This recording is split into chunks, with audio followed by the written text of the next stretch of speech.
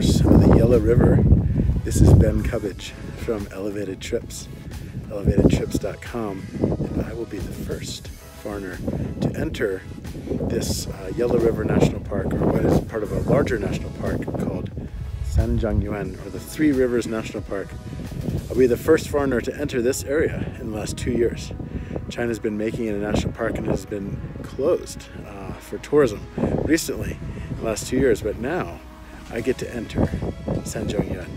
We're on our way driving there, and uh, we're driving from Xining, just drove through Tongde, where these beautiful red rock mountains, these Danxia cliffs, right around 3,800 meters.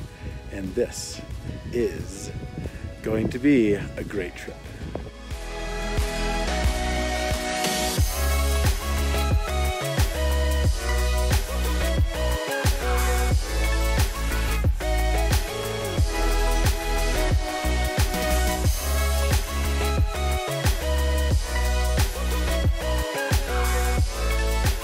Okay, folks, this is Huashixia. It's a super dumpy little truck stop town. It's literally one street that's about 150 meters long.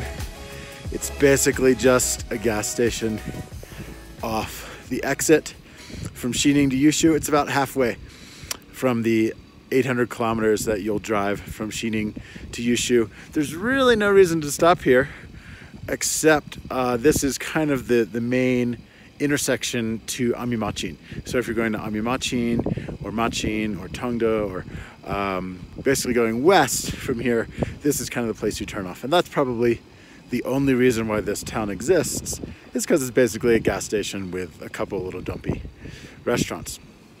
So we just got here tonight after a long day of about 12 hours of driving past Amnye Machen and they just told us no foreigners can stay in this town. So I gotta head another hour south to Maduo. You can see the sign right here, Maduo on the sign. So we're going to Maduo. Maduo is fine for foreigners. They got plenty of three and even maybe three and a half star hotels for foreigners. That's fine. But Huashixia is a no-go. So we are traveling on our way and we got to travel back to Maduo and then back to Huashixia tomorrow. So a little bit of a detour, but that's how it is. Sometimes foreigners traveling Western China there's not foreign registered hotels here. So just FYI, if you are traveling here, do not stop in Huashixia. There's nothing here for you and there's no place for you to stay if you're a foreigner.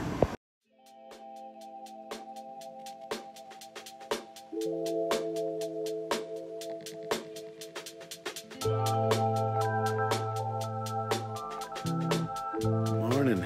We just left Huashixia town, the dumpy little truck stop town 4,200 meters. We are heading west today on this bumpy dirt road to this beautiful high altitude lake called Donge Cuona.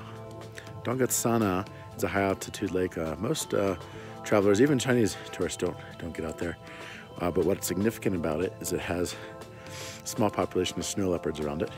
It also has uh, wild ass, uh, Tibetan brown bear, and Tibetan fox, along with some Tibetan antelope and blue sheep and white-lipped deer. So the wildlife viewing can be quite incredible. And of course the lake itself is quite stunning as it's high altitude lake under these big bright blue skies. So the Gobi Desert sandstorm has has gone away and uh, the sun has come back out and we're happy to be traveling today.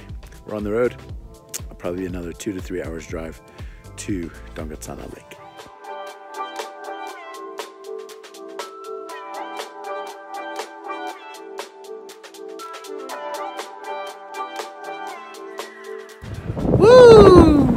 As all get out.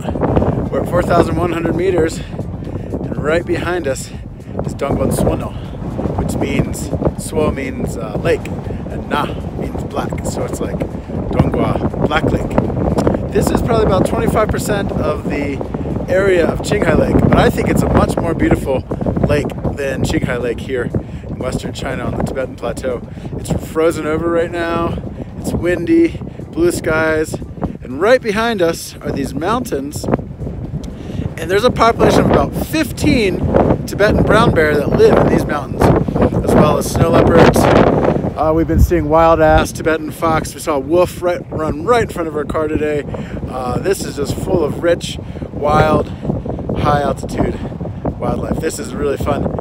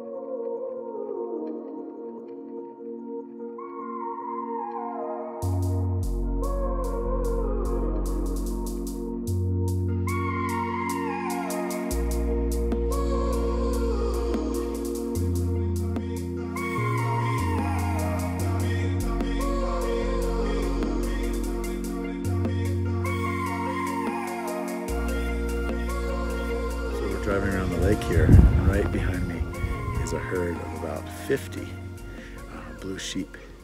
Uh, that's roughly what we would call uh, bighorn sheep, uh, but these are wild herd roaming here and grazing the grasses in March. Of course, there's not much grass here in March, but uh, by April, May, it should start to get a little bit greener.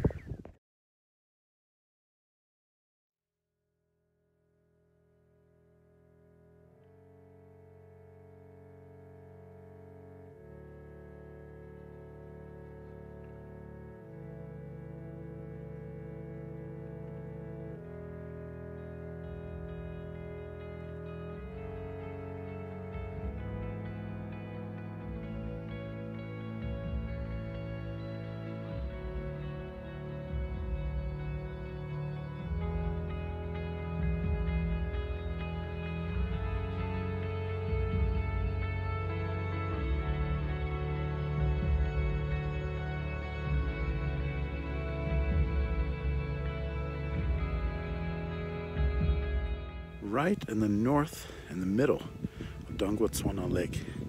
These beautiful red rock formations. They have these deep pocketed cliffs. We just saw a Himalayan griffon nesting there and feeding her babies. And it just feels like something from another world, maybe from Mars or from some alien planet or something, but this is absolutely stunning. So behind me is a really special rock here. Uh, it doesn't look very interesting, but uh, this is actually the site of a snow leopard camera trap. Uh, you can see the camera trap right there. There's the camera. It's camouflaged in the middle of rocks. And uh, it's hard to see, but there's actually spots on this rock where the snow leopard has urinated.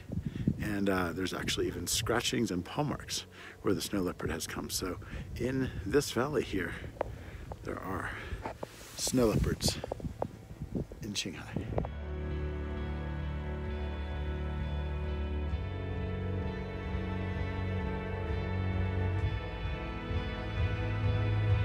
See the urination markings there.